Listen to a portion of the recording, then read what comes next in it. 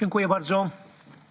E, Panie Przewodniczący, Panie Komisarzu, em, ja przede wszystkim e, chciałbym Panu podziękować za fundamentalną rzecz związaną z tą strategią, mianowicie e, przesądzenie, że e, środki na rozwój obszarów wiejskich, szczególnie e, infrastrukturę techniczną i społeczną, powinny pochodzić e, z Funduszu Spójności, a nie e, z Funduszu e, Wspólnej Polityki Rolnej.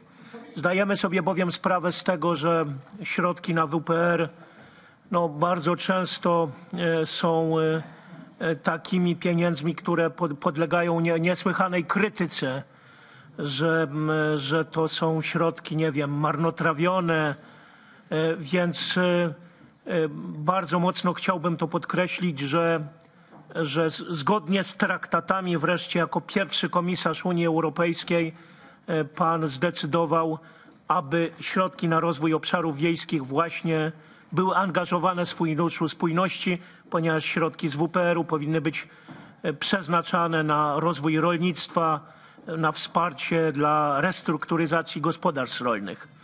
To, to pierwsze spostrzeżenie. I drugie, ponieważ no, czeka nas ta, ta m, zmiana wspólnej polityki reform, rolnej, głęboka reforma, podstawą do funkcjonowania i do wydatkowania środków z WPR-u będą plany strategiczne przygotowane przez e, państwa członkowskie.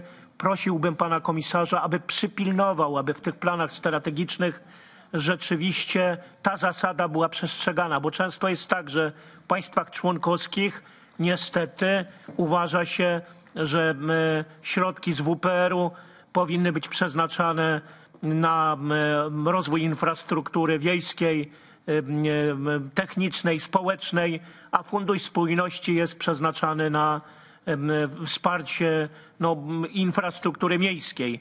Więc mam nadzieję, że Pan dopilnuje, żeby w, także w krajowych planach odbudowy ta zasada, którą Pan przeforsował na poziomie Unii Europejskiej była przestrzegana. Dziękuję bardzo.